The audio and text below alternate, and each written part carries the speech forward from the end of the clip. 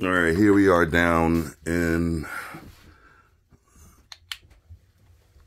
just a plethora of pipes. And I'm just showing you this not to say, uh, oh, wow, there's going to be a great increase in price. That's not what it's about. It's about getting it in there.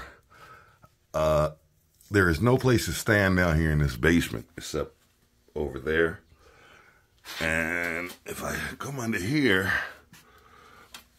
and shine my light, it'll show you where the bit came out. There.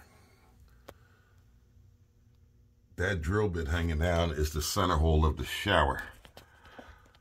So to work up in there, there is no, I mean, we have to stand over here in this little thing and sneak under all of this to get there. I mean, it is what it is.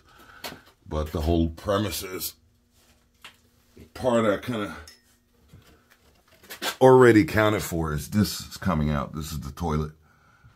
It's going to be removed, and that's going to move the toilet a little further away from the shower pan, um, which you need that room.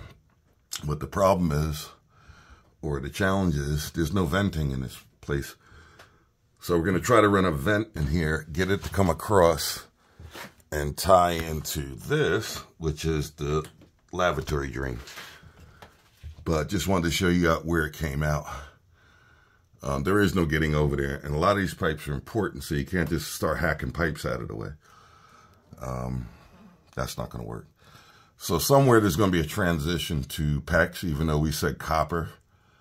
Um, we just need PEX to get up to bring the water to the shower uh, control. And you did have the shower control. That that was really great because uh, that that uh, cut out a lot of time. All right, just wanted to show you what the idea is. See you on the next one.